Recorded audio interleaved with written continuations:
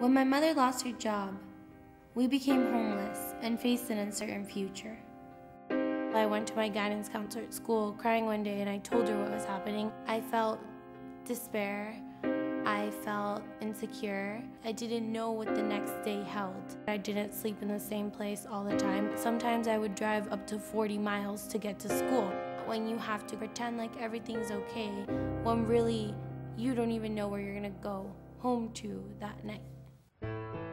I spoke to my aunt who lives here in New York City. She let me know that if I wanted to, I could come live up here for my senior year of high school. And it was my way out. And that's how I first came in contact with the YMCA.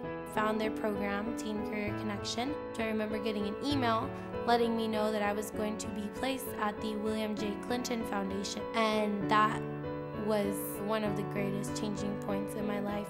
One of the coolest moments was when I got to meet former President Clinton. He's shaking my hand as if we're, we're buddies.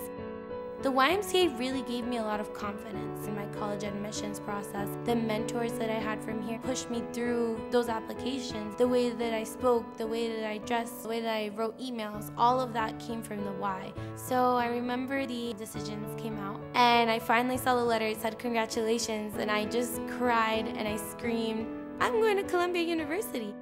If you have passion and tools, Nothing can stop you.